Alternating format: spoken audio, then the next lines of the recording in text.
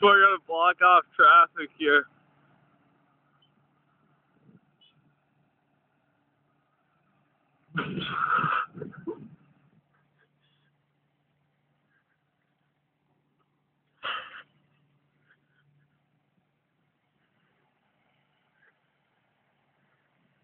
what I'm talking about, towing package.